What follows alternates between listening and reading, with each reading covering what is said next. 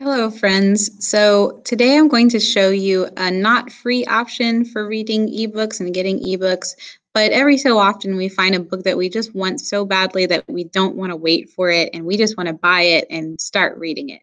And this happens from time to time. I'm definitely someone who buys a ton of books, whether paper copies or online copies.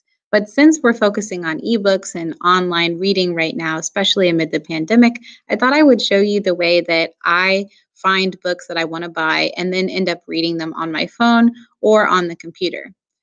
So, the way that I find books is I typically already know which book I want and I go to Amazon. From Amazon, I search for the book. So, recently I've been really wanting to read the book um, Fangirl by Rainbow Rowell because they released a manga version. And so I'd really like to read that because I read the Fangirl book, and so I'd really like to read the manga. So here's the book right here. It popped up pretty immediately, and it shows me the paperback price, but I'm not trying to order it to be sent to my house. Instead, I want to order it for an ebook. You're seeing right here that you can switch from paperback to Kindle and Comixology. So I'm going to switch to that. And you can buy this book this way. So you can click buy now with one link. I have already bought this book, so I'm not going to buy it again. But so long as you're signed in to your Amazon account and have some sort of payment method together, you should be able to purchase the book. After you've bought the book, it will be delivered to your Kindle Cloud. So I'm going to show you my Kindle Cloud Reader. These are some of the books that I've uh, bought more recently and read more recently. Um, and you can see that I bought this book, Fangirl by Rainbow Rowell. You can log into your Kindle Cloud Reader by going to Google. So let me go out real quick, Google, and going to Kindle Cloud Reader. You're seeing it first, of course, it show, tries to show you Amazon Kindle in case you want to buy one of those Kindle e-readers. But I'm just going to go to Kindle Cloud Reader and it might ask you to log in with your Amazon account in order to get you all the books that you that you've uh, downloaded or that you've bought. So after you have this screen open, you can read any of these books that you've bought by clicking them. And uh-oh, maybe uh, I need to read this one on the app. Let's see if there's one that I can, oh, here we go. So I can pull up Long Way Down. Some books, it won't let you read um, on the computer, but it will let you read on your phone. And since I typically read on my phone, um, I think it's trying to show me that I should be on my phone right now. So here is the book Long Way Down, the graphic novel, which I also read and bought recently. And it will pull the book up for you. It has some options for you. You can go to the cover if you need to. You can go to the beginning if you need to, etc. And you can use these arrows to read. So you're seeing that it looks kind of like a book right now.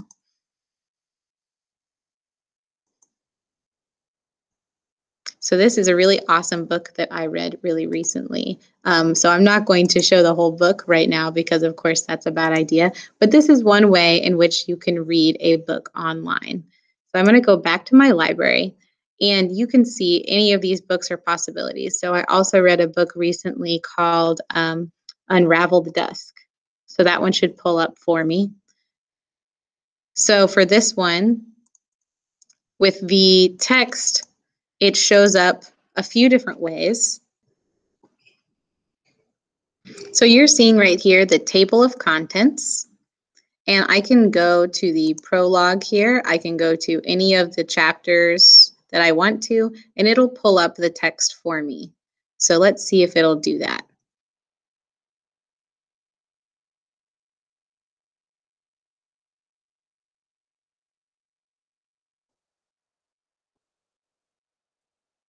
So here's the prologue right here. And if I feel like maybe this is too uh, big or the font is too small, I can change the size of the font.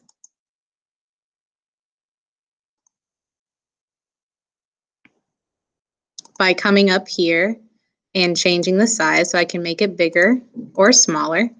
I can make the page and the margins of the page uh, go out farther if I want to or come in closer. And I can change it so that it's in sepia or maybe in black if I like that better. So I'm going to apply these settings to make the text a little bit smaller and to change the screen to black.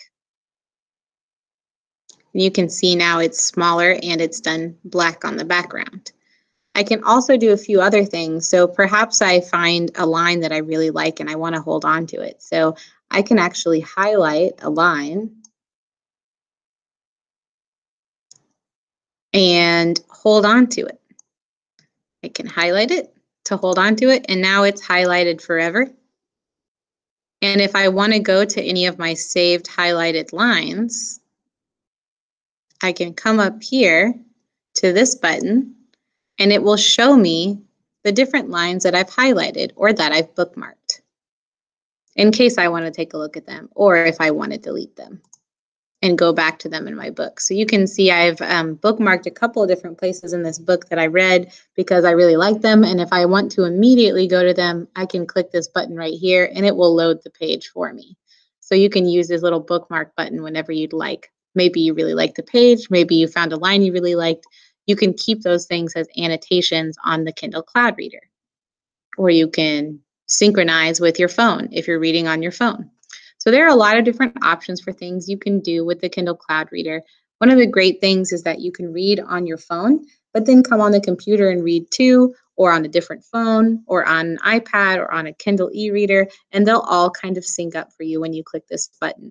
So even though this is a paid for way of reading, it is a really great way of reading as well. So hopefully this is helpful with you finding some books that you'd really like to read. Thank you for joining me.